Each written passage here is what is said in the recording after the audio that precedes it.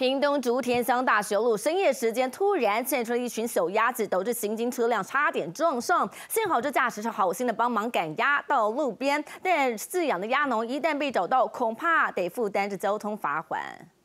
回家回家。这群小鸭叽叽喳喳，摇着鸭屁股，深夜在马路逛大街，差一点成了轮下亡魂，差点出车祸，吓死人。民众惊险闪过鸭群，还好心当起临时的养鸭人家帮忙赶鸭。这也无啦，这可能保护也吧。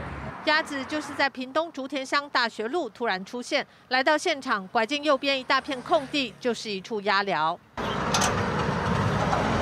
养鸭场大门紧锁，初步查看围篱没有明显或是大的破损，鸭群到底是哪里来的？差一点造成车祸。哎，无在条线嘛，无在条线嘛，线没设死。输送或牵系禽畜宠物在道路奔走，妨害交通者，处所有人或行为人新台币三百元以上六百元以下罚款。